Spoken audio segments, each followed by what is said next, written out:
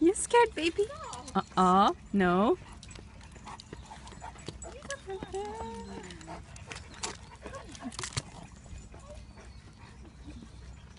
He's not grumbling.